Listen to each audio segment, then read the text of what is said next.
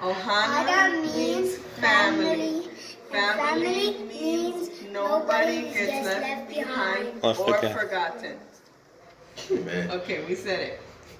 Is that good, Billy? Bye. Thank you. Cool. You're welcome. Bye.